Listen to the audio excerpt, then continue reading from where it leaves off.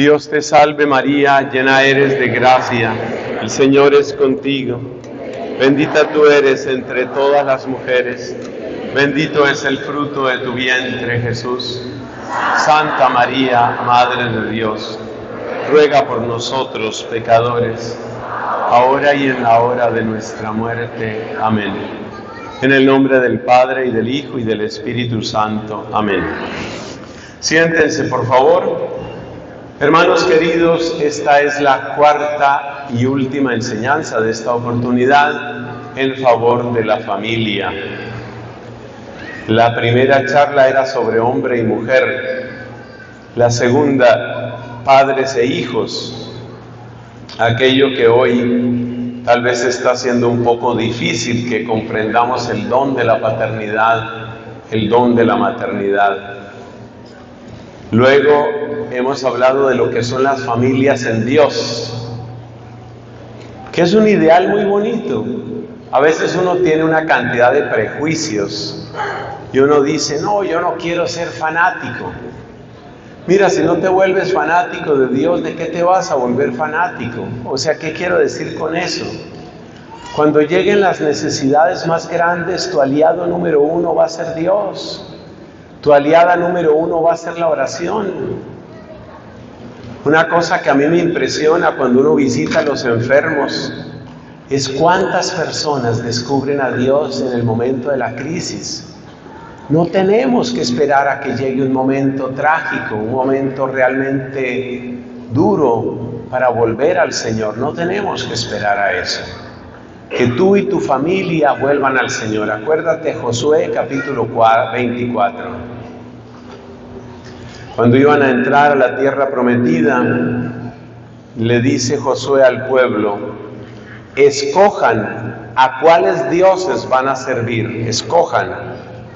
Si van a servir a los dioses de los egipcios, si van a servir a los dioses de Canaán, o si van a servir al Dios que nos liberó de la esclavitud. Y hoy Dios le vuelve a preguntar a la familia, escoge a quién vas a servir. ¿Vas a servir al Dios dinero? ¿Vas a servir al egoísmo? ¿Vas a servir a la sensualidad?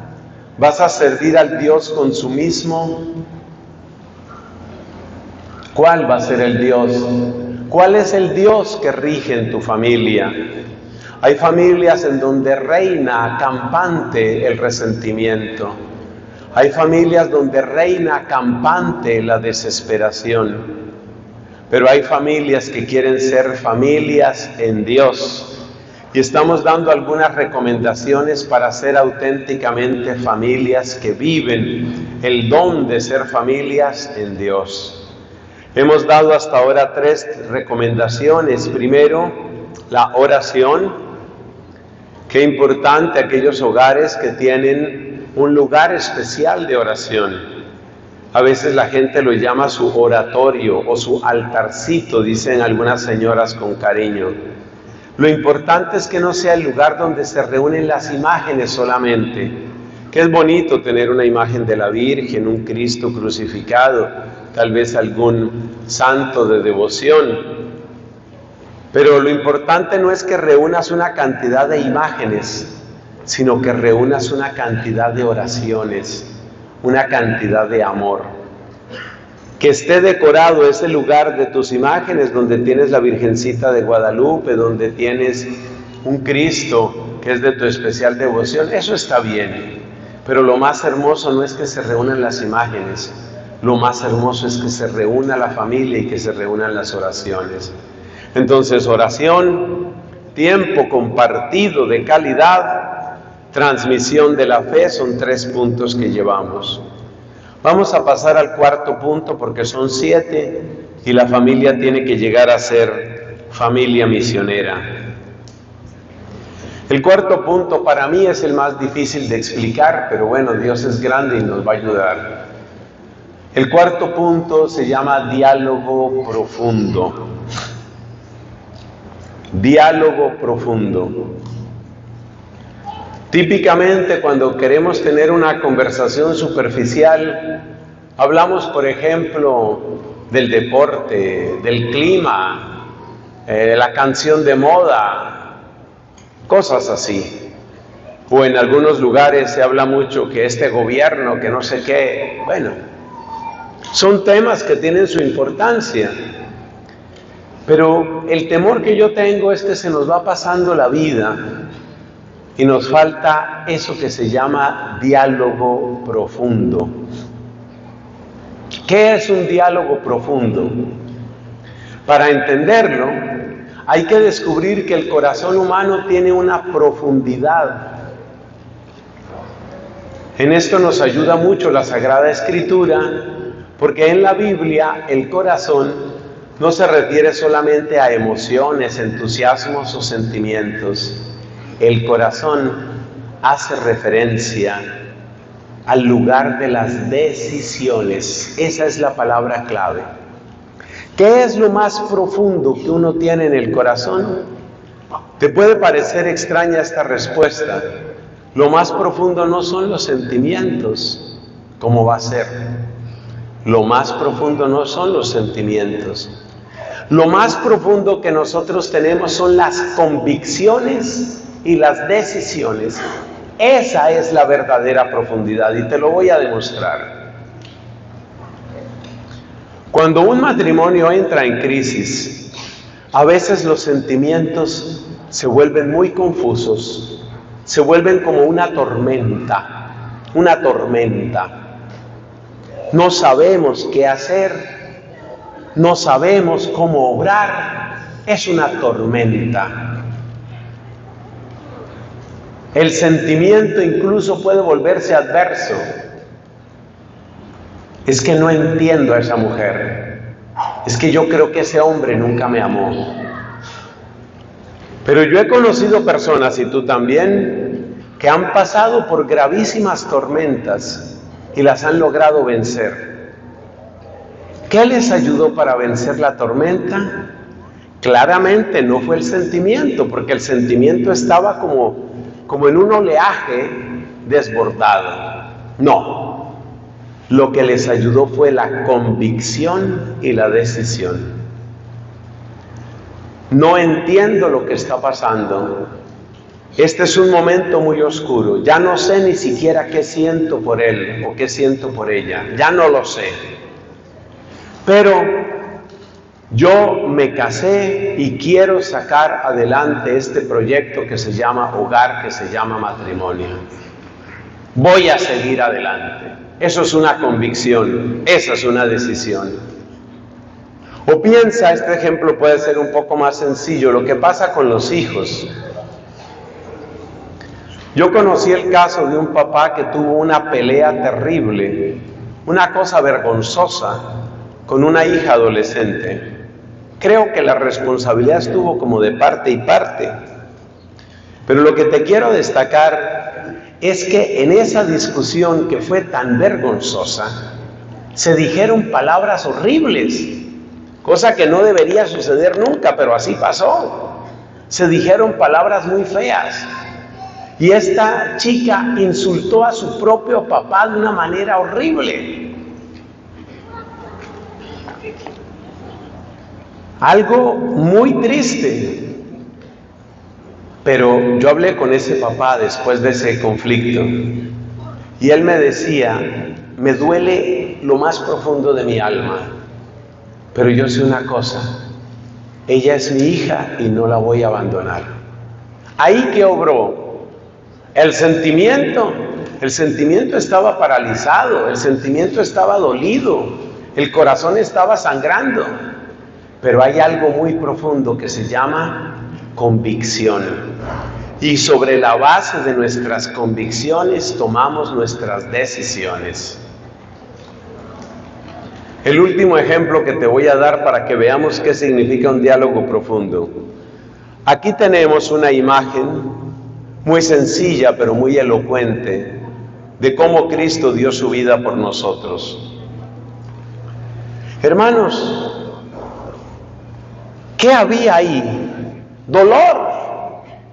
Dolor por la traición, dolor por la soledad, dolor por el abandono, dolor. ¿Qué sostuvo a Cristo en la cruz? Sentimientos, muy difícil. Pero en cambio, ¿te acuerdas cómo oraba Cristo cuando estaba en Getsemaní? Padre, si es posible que pase de mí este cáliz sin que lo beba, pero no se haga mi voluntad sino la tuya. ¿Qué es esa manera de hablar?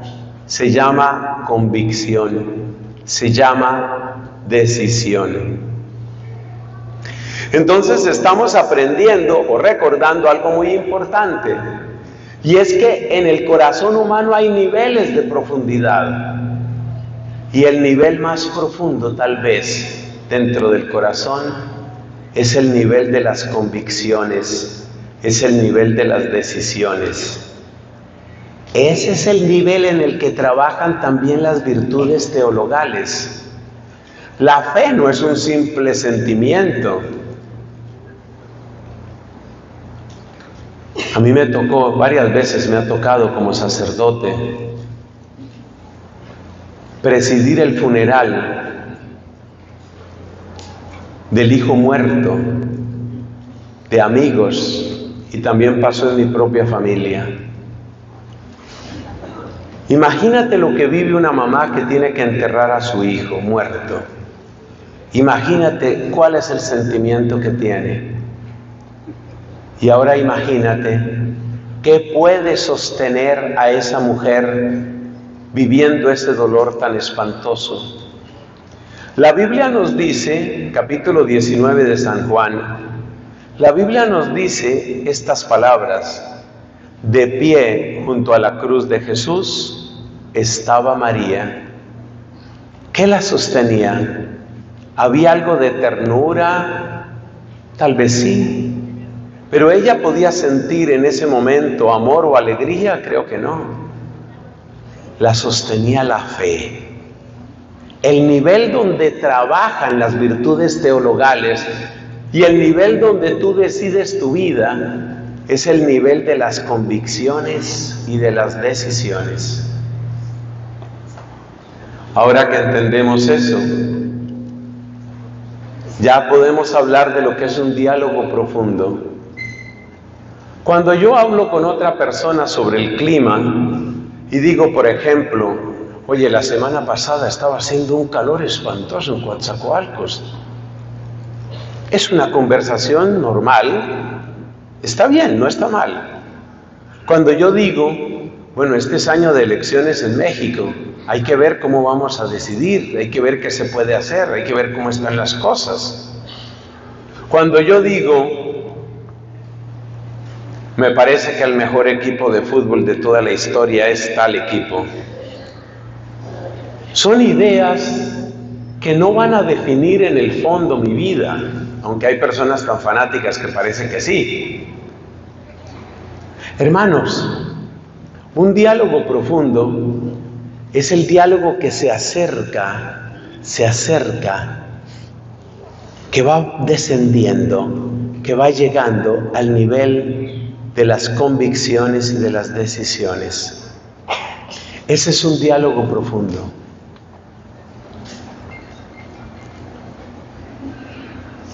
Les cuento algo de mi vida. Cuando yo tenía 15 años de edad, por primera vez sentí el impulso de consagrarme a Dios como sacerdote. Lamentablemente yo no fui completamente fiel a ese primer llamado y por eso se necesitó después el regalo de amor que me dio la Virgen, ayudándome a recuperar la vocación. Pero le estoy hablando del primer llamado. Yo era un muchachito de 15 años de edad. Y entonces yo le dije a mi papá, estoy pensando que voy a ser sacerdote. Ese es un ejemplo de un diálogo profundo. ¿Por qué? Porque es una conversación que tiene que ver con lo más profundo de mis convicciones y de mis decisiones. ¿Qué voy a hacer con mi vida? Tú puedes imaginar que el corazón humano es como un pozo, No todas las conversaciones tienen que ser de máxima profundidad, pero tenemos que mejorar la profundidad de nuestras conversaciones, porque estamos siendo demasiado superficiales. Cuando tú le compartes a una persona, puede ser, perdón, puede ser un amigo, una amiga, un pariente, tu esposa, tu hijo. Cuando tú compartes tus convicciones, tus decisiones, tú le estás dando a esa persona algo de ti. Tú le estás dando algo de ti. Y la familia tiene que ser el lugar donde se intercambian los tesoros tesoros. Hay tesoros preciosos por compartir. Cuando un hermano, cuando tu papá, cuando tu hijo, cuando tu esposa te comparte de lo que está viviendo y de las decisiones que quiere tomar, ahí se da un diálogo profundo. Y ahora entendemos por qué los diálogos profundos son importantes ¿Y por qué la falta de un diálogo profundo nos desconecta? Porque en un diálogo profundo tú estás dando algo de ti. Si yo te hablo, por ejemplo, de cuáles son los partidos políticos que están en juego en las próximas elecciones, eso lo puede decir cualquier persona. Dicho de otra manera, yo no te estoy dando algo de mí, pero cuando yo te cuento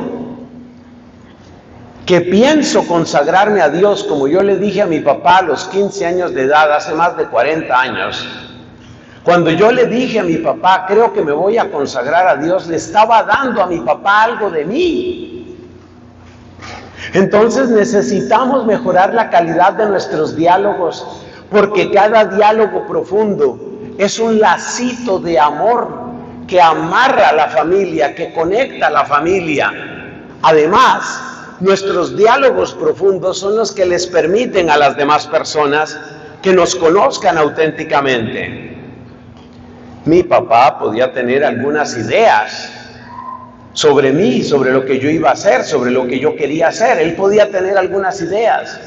Pero cuando yo le hablo y le digo, mira, estoy pensando esto, yo estoy permitiéndole a mi papá que me conozca y por consiguiente que me lea, que me lea adecuadamente. Eso une, une a la familia. Ahí es donde nos unimos. La cualidad de tener diálogos profundos se está perdiendo aceleradamente en las familias y el problema no empezó ahora ahora se ha agravado por el individualismo de las pantallas.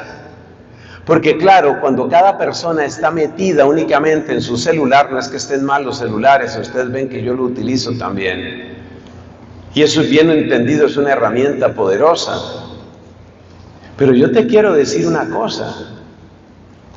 Tenemos que tener cuidado con esos aparatos porque están destruyendo los diálogos profundos.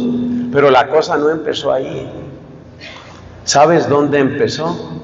Empezó con otro medio de comunicación del cual en su momento yo alcancé a predicar también bastante cuando no estaba extendido el celular. Estoy hablando de la televisión. Es que ya a mí me tocó la época en que cada quien iba llegando a la casa a mirar la televisión. Y la televisión hizo que muchas conversaciones nunca surgieran y la televisión hizo que muchas conversaciones se aplazaran tanto que nunca sucedieron. No hace mucho, un par de amigos decían que querían casarse. Y efectivamente se casaron, bendito sea Dios. Me pasó una cosa muy linda con ellos. Esta es una parejita que yo quiero mucho allá en mi país. Me pasó una cosa muy bonita con ellos. Me pregunta la mujer, ¿qué recomendación nos das para la casa? Un poco la manera de organizar la casa. Me pareció una pregunta como muy singular. Y mira lo que se me ocurrió responderle. Yo les dije, saquen el televisor de su alcoba. Mejor dicho, no pongan televisor en su alcoba. Y ella se sonrió. Ella es una mujer muy de fe, muy católica. Y el esposo tuvo una conversión preciosa y es un hombre muy de fe, muy de oración. Es un matrimonio muy hermoso. Desde aquí le pido a Dios que los bendiga. Entonces ella sonrió y dijo, eso ya lo tenemos decidido, no habrá televisor en nuestra alcoba. Yo les invito, porque a ustedes les puede parecer muy agresivo eso de sacar el televisor de la alcoba, porque resulta que hoy la gente se casa con la esposa y el televisor, con el televisor y el esposo, y para muchas personas es impensable sacar el televisor de la alcoba, de la habitación matrimonial. Yo les invito, así con respeto, créame que lo hago con todo el amor y con todo el respeto, yo les invito a que hagan este experimento pero háganlo de verdad. Pongan una hora límite para los celulares, estoy hablándole a los matrimonios. Por ejemplo, hora límite, 9 de la noche o 8 de la noche, la que sea, digamos 9 de la noche porque hoy la gente se acuesta un poquito más tarde en muchos lugares. Entonces este es un pacto que van a hacer el esposo y la esposa. A partir de las 9 de la noche no hay teléfono, no hay celular, no hay WhatsApp, no hay TikTok, no hay Facebook, no hay Instagram, no hay nada. Y no hay televisor en la alcoba. Hagan el experimento. Si no quieren sacar el aparato, no lo saquen, pero manténganlo apagado. Hagan el experimento. Yo les invito una semana y después de una semana, después de una semana evalúen y la evaluación, ¿cómo tiene que ser? ¿Qué conversaciones hemos ganado y qué hemos perdido con una semana sin televisor ni celulares? Porque es que los primeros que tienen que recuperar el diálogo profundo son los esposos. Una vez vi un programa donde hablaban precisamente de matrimonios, no era un programa católico, pero era muy interesante porque esta era una psicóloga norteamericana que ella es como consejera, hace lo que allá llaman counseling, consejería, ¿no? Ella es como consejera matrimonial. Y entonces ella contaba de un experimento parecido, pero no lo hacían en la casa, sino que llevaban a las parejas como una convivencia, como un retiro. Pero repito, no era una cosa religiosa.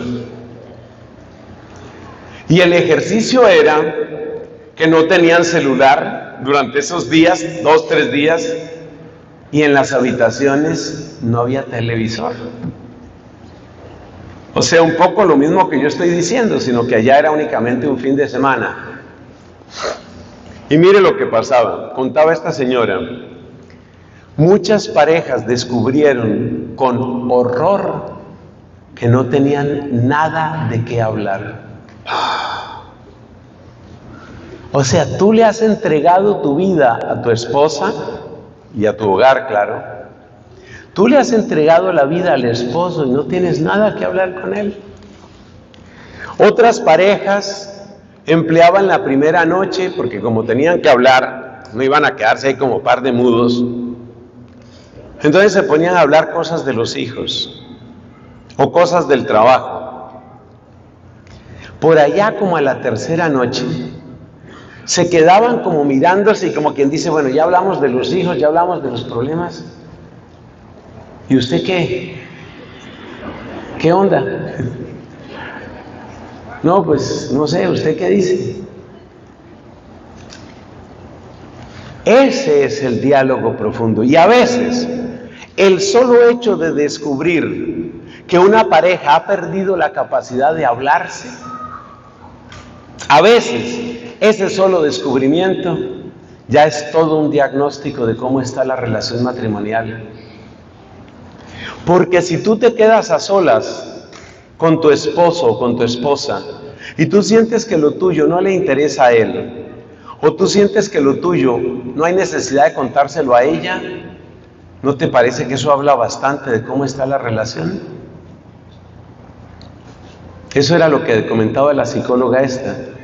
Que las parejas que lograban mejorar su comunicación en esos días de trabajo intenso, trabajo psicológico, esas parejas ganaban mucho. Pero luego decía, pero también las parejas que no hallaban de qué hablar, esas parejas también ganaron, porque por lo menos se dieron cuenta cuál era el estado real de su matrimonio. Diálogos profundos. Y como no se habían dado cuenta que su matrimonio estaba mal, lo disimulaban. ¿Cómo lo disimulaban? ¿Qué es lo más sencillo? Encender el televisor. Entonces por ahí había algún predicador que hablando de este tema decía, ya no lo llamen televisor, llámenlo disimulador. Porque el televisor es el que disimula cómo es que está la relación.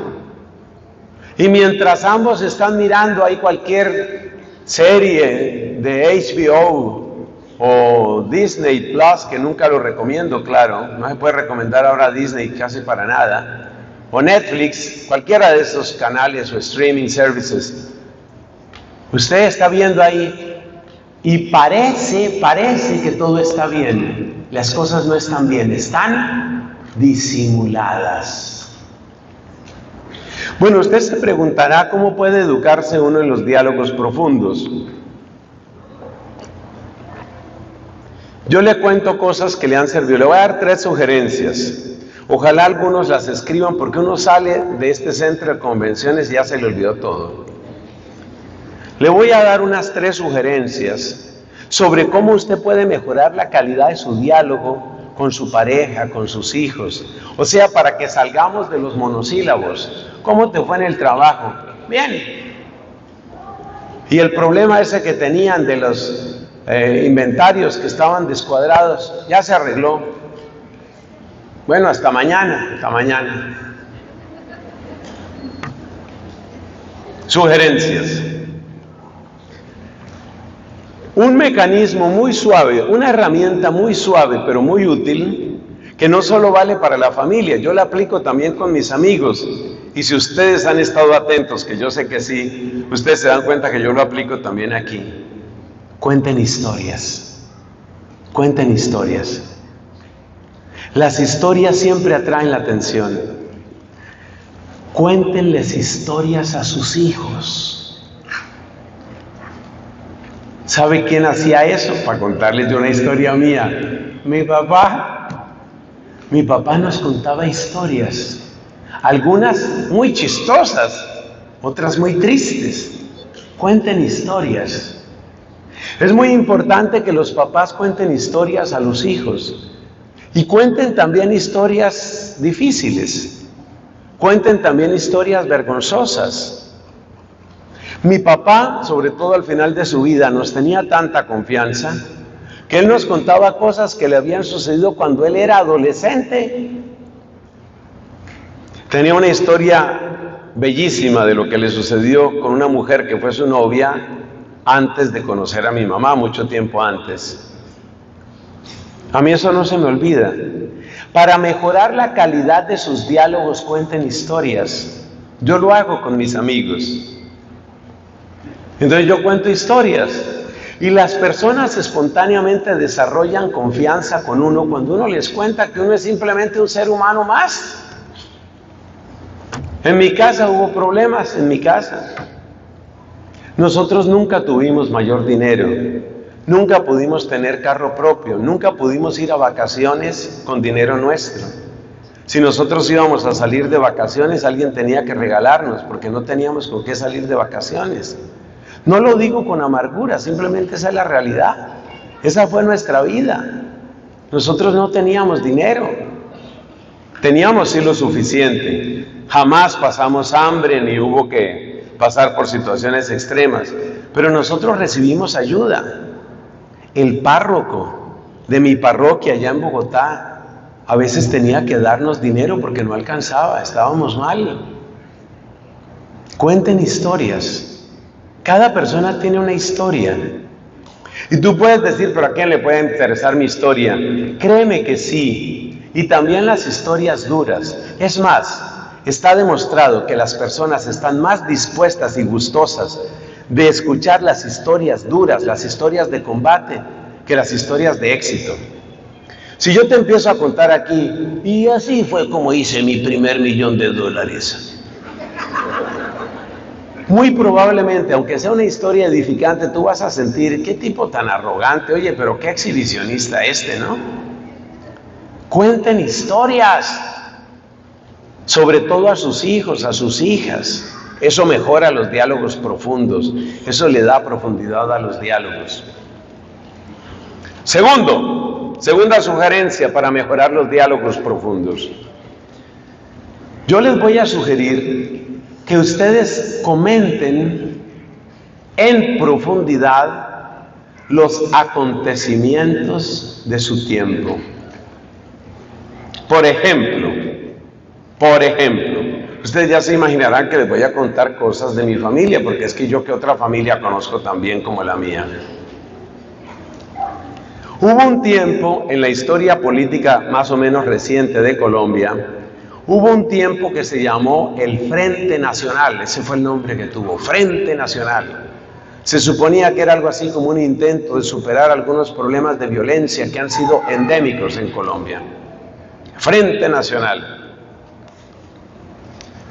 A mí de niño casi no me interesaban las cosas de la política. Con el tiempo me empecé a dar cuenta que la política tiene que interesarnos a todos, porque a todos nos afecta.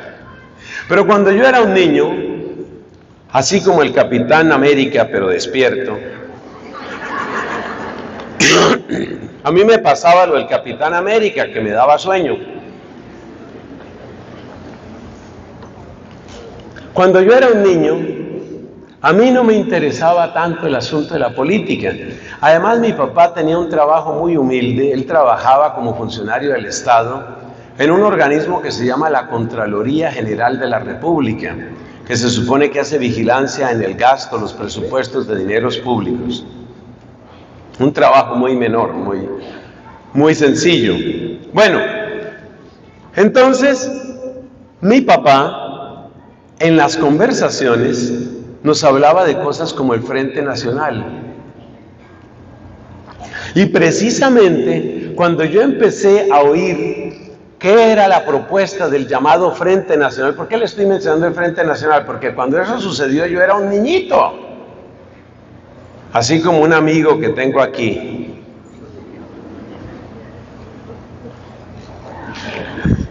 Entonces, yo era un niño. Y ustedes dirán, pero a un niño, ¿para qué se le habla esas cosas? Mi papá comentaba cosas sobre lo que estaba sucediendo en ese momento en el país. Y cuando él hablaba de esas cosas, entonces llegaba el momento en el que uno le interesaba. En ese momento en Colombia los dos partidos principales eran el Partido Liberal y el Partido Conservador.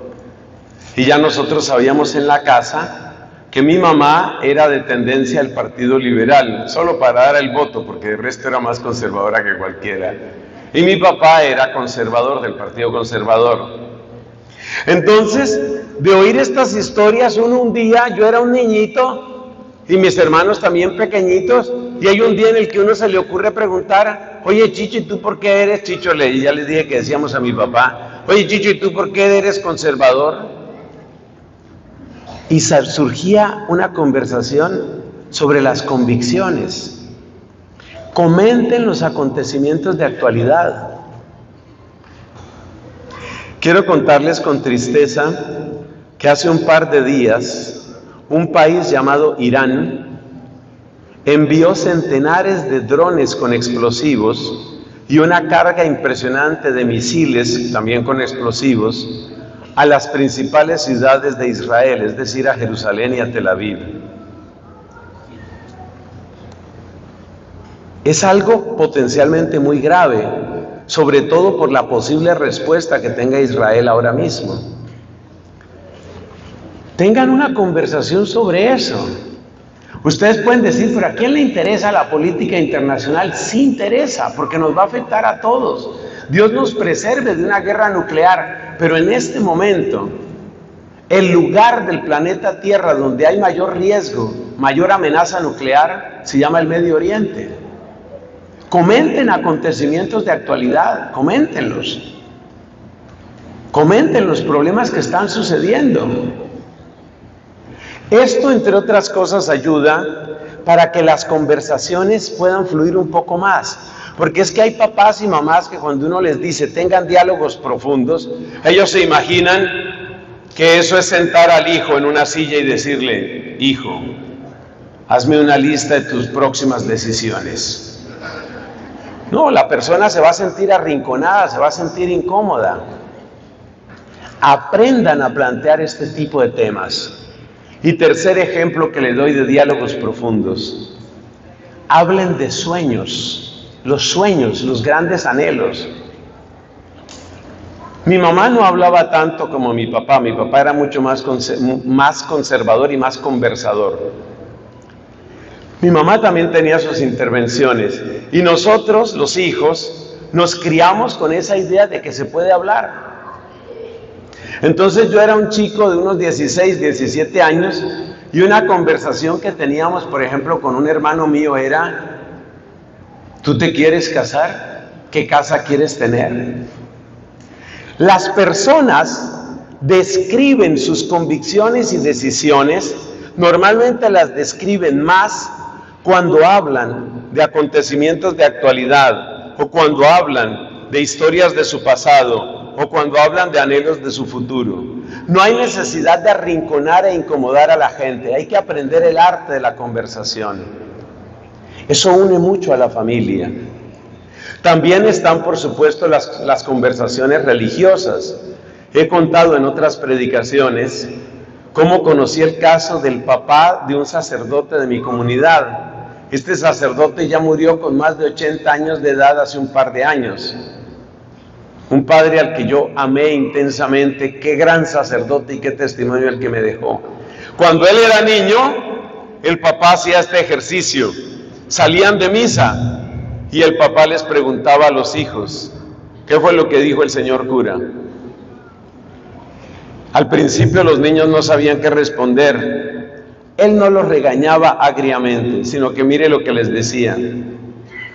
Hijo, entonces no pusiste nada de cuidado en la misa. Ese era todo el regaño. Pero después de que él hiciera el ejercicio varias veces, los hijos empezaron a poner más cuidado en la misa y formaban unas conversaciones interesantísimas sobre lo que se había leído en la misa y lo que se había predicado en la misa. Así tenían conversaciones profundas. Uno de los dos hijos, porque fueron dos en ese matrimonio, uno de los dos hijos decidió ser sacerdote Bendita sea su memoria, Padre José Ernesto Mora, el Padre Mora, Padre Morita, como le decíamos todos, inmenso sacerdote, gran sacerdote, su vocación cultivada con conversaciones profundas en la casa. Entonces hay que mejorar la calidad de las conversaciones, hay que enseñar a los niños y a las niñas que tienen derecho a tener una opinión, que sus opiniones no son criticadas solamente porque son mujeres o porque son seres humanos pequeños. Usted no sabe nada, hijo, cállese. Eso es lo peor que se puede decir en una casa, lo peor. Acostumbren a sus hijos a que ellos también pueden tener una opinión, pero que siempre tienen que aprender a defenderla con buenas razones. Pasemos al punto número 5, hermanos, estamos llegando a la recta final. ¿Qué más debe tener una familia en Dios? Una familia en Dios debe tener memorias de reconciliación. ¿Qué son las memorias de reconciliación? Son esas fotografías que quedan en el corazón. ¿Cuáles fotografías? No las que toman las cámaras o los celulares. ¿Cuáles fotografías? La fotografía de un abrazo de gente que se perdona. Esto es importantísimo. El Papa Francisco dice que de las palabras más importantes que un niño tiene que oír y tiene que pronunciar son las palabras, perdóname, me equivoqué, disculpa. Esas palabras, hay muchas más, pero esas palabras, según el Papa, y por supuesto que todos estamos de acuerdo, esas palabras son importantísimas. Importantísimas. Me encontré con una señora ya mayorcita en este momento. Tiene al papá muy, muy grave, está muy enfermo. Realmente, para serle sincero, yo pienso que este señor no va a durar mucho. Es que está muy mal, pobrecito. Pero lo más grave no es el estado de salud física de él. ¿Sabe lo que me decía esta mujer para que usted vea la importancia que tienen estos temas? ¿Sabe lo que me decía esta mujer? Yo no me acuerdo que mi papá nunca haya pedido perdón de nada. Eso deja una herida y deja una frustración y deja un sentimiento de injusticia muy horrible en los hijos. Los hijos tienen que saber que los papás son imperfectos, que los papás se piden disculpas, que los papás se dan un abrazo, que los papás son capaces de darse un beso y decirse, no te preocupes amor, aquí no ha pasado nada. Esas palabras tienen que oírlas, oírlas, los hijos. Ahí es donde se aprende la reconciliación. La gente cree que la reconciliación se va a aprender en grandes diálogos de paz en La Habana. Esa fue la moda hace unos años allá en mi país a un precio de millones y millones de dólares, unas comisiones costosísimas, iban a La Habana a tener diálogos de paz. Bueno, ahí firmaron unos documentos, no voy a pronunciarme ahora sobre esos documentos. Pero yo te digo una cosa, la verdadera paz se aprende en la casa. Se aprende en la casa cuando tú le dices a tu hermanito, a tu hijito, tú le dices, discúlpate con tu hermana. Pero también hay que enseñar a las niñas que se disculpen. Porque es que hay mucha mujer que tampoco se arrepiente nunca de nada y nunca pide disculpas de nada y ellas son las perfectas. Y eso tampoco es justo. Hay que enseñar a la niña, hay que enseñar a la jovencita que ella también se equivoca y que pedir perdón y pedir disculpas no la hace ni menos persona ni menos mujer. Eso se llaman memorias de reconciliación. Y eso es bueno para la humildad. Y eso es bueno para la educación del carácter. Y eso es bueno para el buen ambiente en la casa. Me decía aquella mujer, la que tiene al papá muriéndose, me decía, mi papá nunca ha pedido perdón de nada. Y todos sabemos que él le fue infiel a mi mamá. Y todos sabemos que él la insultaba. Y todos sabemos que él tenía sus preferencias y era agresivo con nosotros y sobre todo con las mujeres, porque es ese modelo de hombre que está mandado a recoger ese modelo de hombre que cree que cuanto más grita y cuanto más machista, mejor. Y nunca pidió perdón de nada. Si es tan hombrecito para ofender, sea más hombrecito para decir me equivoqué, perdóname. Las memorias de reconciliación son las que en buena parte construyen dentro del corazón humano el sentido de lo que es verdadero y de lo que es bueno. Sexto punto, amigos, vamos llegando al final, les veo la cara de pesar pero no hay nada que hacer. Hay que llegar al final. Sexto punto, celebración de la fe. Hay que tener memoria de la celebración de la fe celebrada. Por eso, yo estoy feliz de que han venido muchas parejas, esposo y esposa, pero es que además me parece que alcanzan a venir algunas familias completas. Y eso me parece extraordinario. Ya ustedes saben lo que yo voy a hacer. Por favor, pónganse de pies las familias que están completas. Papá, mamá, hijos, pónganse de pie. Miremos las familias completas. Ese es un testimonio muy bonito. Hágame el favor. Mire esa hermosura, mire esa hermosura, familias. Mire, allá también no se les olvide los que están atrás, mírenlos. Mire, arriba, arriba hay familias. Arriba hay familias. Familias completas. Aplauso para las familias completas.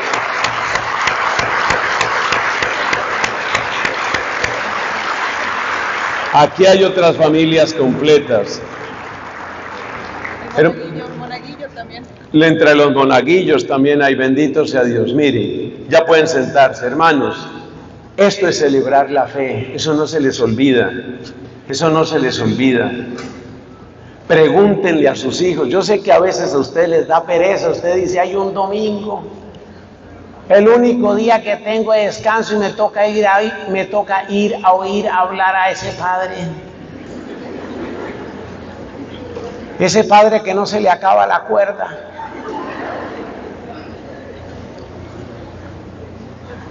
Pero luego pregúntale a tu hijo, pregúntale a tu hija lo que significa ver a su papá y a su mamá celebrando la fe.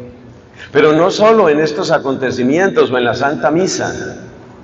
México tiene unas tradiciones tan bellas y como Dios me ha permitido venir varias veces aquí, y ya les dije que cada vez quiero más a este país, el otro día me estaban explicando todo el tema de las peregrinaciones que hacen a la Virgen de Zapopan, ¿es que se llama? Zapopan, allá en Guadalajara, cerca de Guadalajara, en Jalisco. Oiga, la cantidad de amigos que se reúnen, muchachos, muchachas, para caminar juntos, la cantidad de familias que caminan juntas, unas peregrinaciones, unas manifestaciones de fe increíbles. Por supuesto que el demonio detesta eso. El demonio detesta eso. No lo digo yo, lo dijo el Papa Benedicto. Lo estábamos comentando hace poquito con unos amigos. Yo soy colombiano, pero yo tengo que reconocer que milagro como el sucedido con la Santísima Virgen en Guadalupe, en el Tepeyac, es una cosa única en la historia de la humanidad. Y yo tengo que reconocer con amor que esa es una bendición que desde México se ha derramado para todo el continente. Pero también tengo que decir lo que dijo el Papa Benedicto. Con razón el demonio quiere atacar tanto a México. Eso también es cierto. Eso también es verdad. Entonces, hermanos míos, es importante celebrar la fe en familia. Cuando yo veo la preparación de estos eventos, yo ya estuve en Veracruz varias veces, he estado en Veracruz antes, varias veces me invitaron a Poza Rica, aquí en el estado de Veracruz. Lo que me parecía más lindo de las muchas cosas que me gustaban de, eso, y aquí también lo he visto en este evento, es ver familias donde todos ayudan. Esa familia donde el papá ayuda con una cosa, la mamá con otra. Ya, por ejemplo, en Poza Rica yo vi varias familias. Los papás ayudaban con la logística, las mamás ayudaban con tamales, los, los chicos eran monaguillos, la muchacha estaba cantando, el otro, toda la familia. Eso es bello. Eso marca una familia. Eso une la familia. Pero es importante crear esa cultura de que como familia vivimos nuestra fe. Eso es muy hermoso. Y cuando pasan los años, ni a esos muchachos ni a esas niñas se les olvida eso. Ahora vamos con el último punto, que fue lo que ya nos dijo nuestro párroco, nuestro padre José, José Ayala. Ahora viene el último punto, clave completamente. Hay que tener experiencias de servicio y de misión. Hay que servir. Hay que salir. Conecta con lo anterior que dijimos de la celebración de la fe. Así como celebramos la fe, compartimos la fe. Compartimos la fe. A veces las familias amorosas, que yo sé que muchas de las familias aquí presentes son así, repletitas, repletitas de amor. A veces las familias amorosas tienen una tendencia, una tentación, la voy a llamar, que no me gusta mucho. Y de esto nos advierte también el Papa Francisco, que es como encerrarse mucho la familia, nosotros con nosotros. Está bien que la familia esté unida, pero la familia no puede encerrarse como si fuera el último fin de ella misma. La familia tiene que ser misionera. La familia tiene que compartir, compartir su fe. Animen a sus hijos a que compartan la fe. Esas experiencias de servicio, servicio a quienes, especialmente a los más necesitados, por favor, que no se nos olviden nuestros pobres, nuestros adultos mayores, que en mi tiempo llamábamos ancianitos. Que no se nos olviden nuestros ancianos, nuestros huérfanos, migrantes, los marginados. Hay que encontrar, hay que encontrar caminos para que los hijos salgan de la comodidad, porque es que la comodidad aprisiona. Y hay hijos y hay hijas que viven como en una burbujita de algodón de azúcar y viven cómodos y tienen siempre todo a la mano y tienen todo listo y tienen todo arreglado. Es necesario que vean que ese no es el mundo entero. Es necesario que vean otras personas que están sufriendo.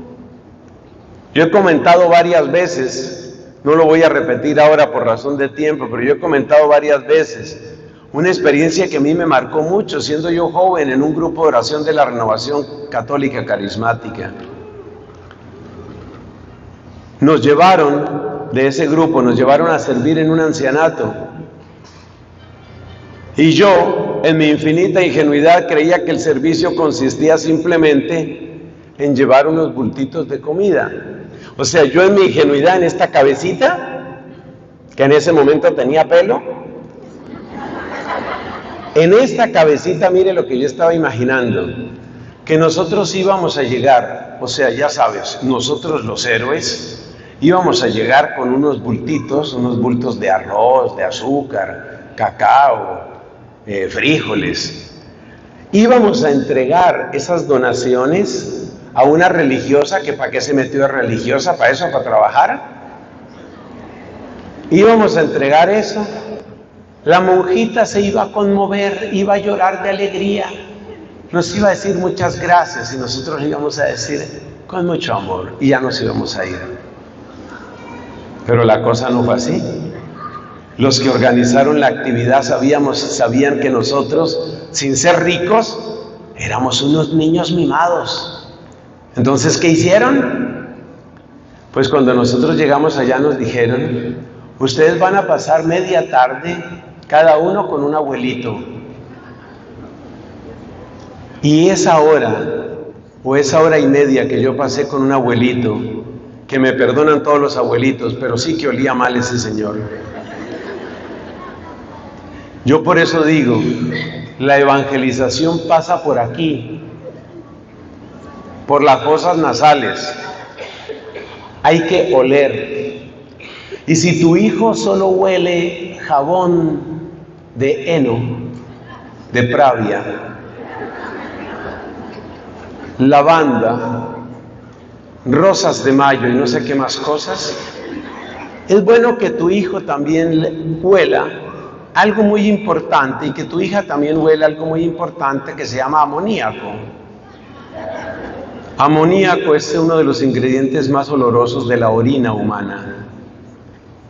Que tu hija sienta ese olor y que trabaje y que sepa que hay donde ayudar y que sepa que la gente también lo pasa mal y que vea que puede hacer una diferencia en el mundo. Para que cuando esa hija tuya sea la gobernadora de Veracruz o cuando esa hija tuya o ese hijo tuyo sea el presidente de la República, sepa para qué uno es presidente, para servir, no para servirse de. Entonces la familia tiene que ser escuela de servicio, escuela de compartir la fe. Y yo les digo una cosa, el que busca encuentra, y ciertamente en México lindo y querido, movimientos para crecer en la fe hay muchísimos, pero muchísimos. Y más van llegando. Así que ánimo, familias misioneras, familias que comparten su fe, familias que viven la espiritualidad de Cristo que no vino a ser servido, sino a servir. Pongámonos de pies, mis hermanos. Vamos a pedirle al Señor que seamos familias en Dios. Yo quiero darte gracias, Padre Celestial. De ti proviene toda paternidad en el cielo y en la tierra. Y yo quiero darte gracias por este hermoso encuentro por cada uno de los papás, las mamás y los hijos que están aquí presentes, por las religiosas, los seminaristas, por nuestros sacerdotes amados. Gracias, Señor. Pero sobre todo quiero darte gracias porque tu divina palabra, así como nos cuestiona, nos consuela.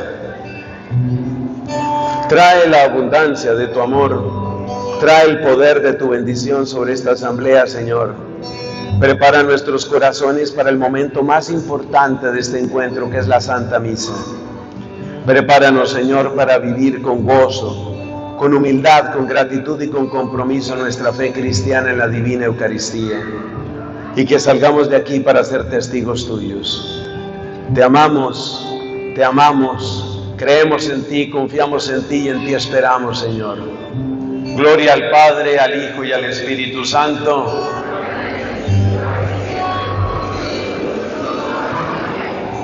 Amén. Hermanos amados, ya no tenemos más recesos, nos quedamos en el salón y nos disponemos para iniciar la Santa Eucaristía. Eso sí, un aplauso a Jesús y María, por favor.